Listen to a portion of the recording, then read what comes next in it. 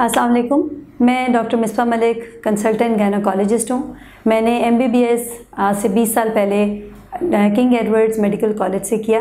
उसके बाद मैंने स्पेशलाइजेशन गायनी की फ़ील्ड में की है। आई एम अ कंसल्टेंट गैनोकोलॉजिस्ट मेरी स्पेशलिटी है हामला औरतों की केयर उनकी डिलीवरीज चाहे नॉर्मल से हों, चाहे सजेरियन से हों। इसके अलावा गायनी के मुख्तु केसेस जिसमें आजकल जो बहुत कॉमन है, वो पॉलीसिस्टिक ओवरीज़ है। इसी तरह अंडे दानियों में जो थैलियाँ और सिस्ट बन जाती हैं, उनकी मैनेजमेंट और कैंसर्स जो कि अंडादानी और यूट्रस में होते हैं बच्चा दानी में रसोलियाँ और इस किस्म के दूसरे गायनी के मसाइल को डील करना मेरी स्पेशलिटी है। और सबसे ज़्यादा पॉइंट ऑफ़ इंटरेस्ट आजकल जो लेज़र सर्जरीज़ हो रही हैं गायनी में लेज़र सर्जरी से मेरा स्पेशल इंटरेस्ट है और मेरी स्पेशलिटी है। गायनोकोलॉजिस्ट जो हैं, वो फीमेल्स ही को डील करती हैं, क्योंकि फ़ीमेल से एसोसिएटेड मसले, चाहे प्रेगनेंसी के, चाहे बग़ैर प्रेगनेंसी के जो मसाइल हैं वही डील करती हैं। लेकिन किसी हद तक जैसे बांझपन के इलाज में जो मर्दाना कमज़ोरी का इलाज है, वो किसी हद तक फ़ीमेल्स ट्रीट करती हैं गायनोकोलॉजिस्ट ट्रीट करती हैं, लेकिन एक हद तक, जब तक एक जनरल मेयर्स करने हों, कुछ दवाइयाँ देकर सप्लीमेंट्स देकर, ताकत की दवाइयाँ देकर, फिर दोबारा मर्द का टेस्ट कराया जाता है। अगर वो इम्प्रूव हो जाए तो गुड इनफ लेकिन जहाँ मर्द की एग्ज़ामिनेशन की नौबत आ जाए, तब हमें असूलन उनको यूरोलॉजिस्ट को रेफ़र कर देना चाहिए, फिर वहाँ से यूरोलॉजिस्ट की स्पेशलिटी शुरू हो जाती है। देखिए, बच्चियों को जो माहवारी के दौरान तकलीफ़ होती है, इसकी बहुत सारी वजूहत होती हैं। ज़्यादातर साइकोलॉजिकल वजूहत होती हैं। उसके लिए बच्चियों को काउंसिल करें उनकी खुराक का ख्याल किया जाए आजकल जंक फ़ूड से परहेज़ करें उनकी सेहत अच्छी हो और वो माहवारी के दौरान थोड़ा रेस्ट करें बहुत ज़्यादा नहीं। आ, फिर भी अगर तकलीफ़ होती है तो हल्की फुल्की कोई पेन किलर लेने में कोई हर्ज नहीं है। आप अपनी गायनोकोलॉजिस्ट के पास जाएँ और उनसे कहें कि वो आपको दर्द की दवाइयाँ दें। 90 परसेंट ऑफ़ फीमेल तो इसी तरह ही ठीक हो जाती हैं।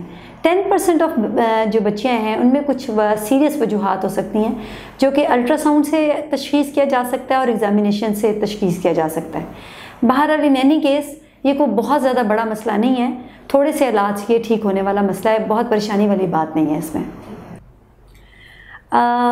देखें ये मुख्तलिफ़ मिथ्स हैं जो कि हमारी सोसाइटी में इतने पुराने और इतने पक्के हैं कि मैं अपनी क्लिनिक में बेतहाशा काउंसलिंग के बावजूद मुझे नहीं लगता कि मैं सही तरह से मरीज़ को इनसे दूर कर पाती हूँ। ये बिल्कुल मिथ्स हैं। दवाइयाँ मरीज़ों के फ़ायदे के लिए बनी हुई हैं। अगर वो सही डॉक्टर ने सही प्रिस्क्राइब की हैं और मरीज़ ने सही खाई हैं, ये घर बैठे बैठे जो आप बग़ैर प्रिस्क्रिप्शन की दवाइयाँ लेते हैं, वो आपको ज़रूर नुकसान पहुँचा सकते हैं, क्योंकि आपको नहीं पता कि उनका क्या नुकसान है, क्या फ़ायदा है, क्या वजह देने की और क्या वजह रोकने की। डॉक्टर के कहने पे जब दवाइयाँ ली जाएँ तो प्लीज़ पूरे कॉन्फिडेंस से लें। चाहे आप गूगल कीजिए, आप नेट कीजिए, आप जितने मर्ज़ी समझदार हों, आप एक डॉक्टर से बेहतर नहीं जान सकते। इसलिए प्लीज़ डॉक्टर जब कोई आपको दवाई प्रिस्क्राइब करता है, उस वक्त क्लिनिक पे उससे पूरा सवाल जवाब करें, अपनी पूरी काउंसलिंग करवाएँ, अपनी पूरी कन्फ्यूज़न दूर करें। लेकिन एक दफ़ा जब आप क्लिनिक से बाहर निकलें तो प्लीज़ इन मिथ से बाहर निकलिए, अपनी मर्ज़ी ना कीजिए। हमसायों के, बड़ों के, छोटों के, दोस्तों के कहने पर डॉक्टर की प्रिस्क्रिप्शन को चैलेंज ना करें।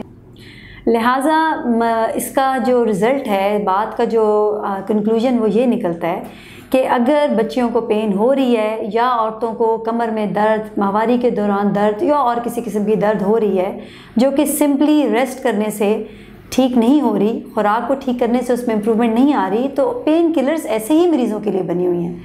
इसलिए डॉक्टर के प्रिस्क्राइब करने के बाद आप बेफिक्र होकर पेन किलर्स लीजिए, ये आपके फ़ायदे के लिए इसका आपके आइंदा ज़िंदगी में कोई नुकसान नहीं होगा। अगर आप बताए गए तरीके के मुताबिक लेंगी तो।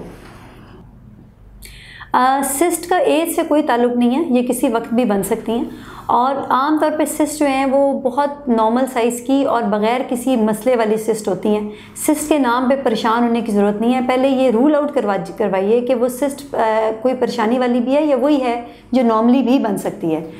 अब जो सिस्ट इन केस साइज़ में बड़ी है प्रॉब्लम क्रिएट कर रही है, उसका दवाइयों से भी इलाज हो सकता है और उसका सर्जरी से भी इलाज हो सकता है। देखिए, बीमारी से घबराइए, बीमारी के इलाज से ना घबराइए, चाहे वो दवाइयों की सूरत में हो चाहे वो ऑपरेशन की सूरत में हो। और इन केस अगर ऑपरेशन की ज़रूरत पड़ भी जाती है तो आजकल जैसे मेरी स्पेशलिटी भी ये है लेटेस्ट भी ये है कि लेप्रोस्कोपी के थ्रू लेज़र के थ्रू सिस्टें निकाली जाती हैं। इसमें कट भी नहीं आता ओपन भी नहीं होता बड़े बड़े सिजेरियन टाइप के कट्स भी नहीं लगते हैं और आपकी सिस से निजात हो सकती है अगर उसमें सर्जरी चाहिए तो। अदरवाइज़ दवाइयों से भी इलाज हो जा सकता है। इसी तरह पॉलीसिस्टिक ओवरीज़ हैं, बहुत कॉमन है। उसमें भी परेशान होने की ज़रूरत नहीं है, अपनी डॉक्टर के पास जाइए, दवाइयों से इलाज कराइए। अव्वल तो 75 परसेंट ऑफ़ पेशेंट में दवाइयों से वो ठीक हो जाती हैं, वरना यही लेज़र के थ्रू उनका इंस्टेंटली इलाज हो सकता है, जो कि कोई मेजर सर्जरीज देनी है और मरीज़ को फ़ौर आराम आ जाता है। अच्छा पॉलीसिस्टिक ओवरी से रिलेटेड जो जल्द की बीमारियाँ हैं, जैसे चेहरे पे बाल आ जाना, जैसे पिंपल्स आ जाना एक्नी हो जाना ऑयली स्किन हो जाना, ये gynaecologist in collaboration with skin specialist आपके मसले को हम हल कर सकते हैं। लेकिन बेसिकली ये भी गायनाकोलॉजिस्ट का मसला है। This skin problem is due to hormone problem hormone problem is due to polycystic ovaries and polycystic ovaries is suppose to be treated by gynaecologist